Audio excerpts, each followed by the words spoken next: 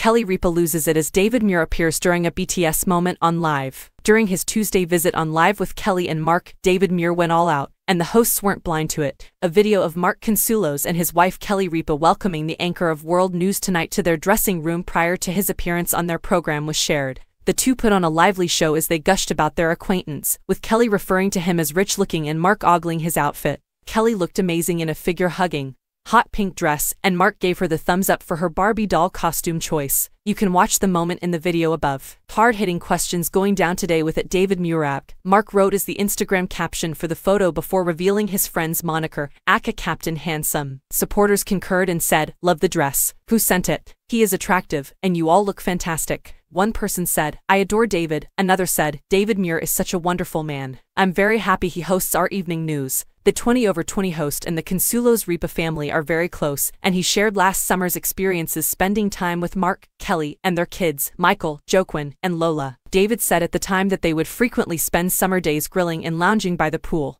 You are a great grill master, your cheeseburgers are delicious, said Kelly. Joaquin would rather eat at David's than anywhere else on earth. After hearing this, he spoke of meeting their youngest at a recent pool, filled with a sense of pride. You bring Joaquin, and I'm like, who's this guy you've brought with you? The man remarked.